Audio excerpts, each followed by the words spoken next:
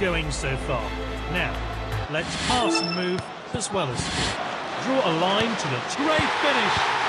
Play the ball into space ahead of your teammate to get a clear shot on goal. Oh, nice finish there.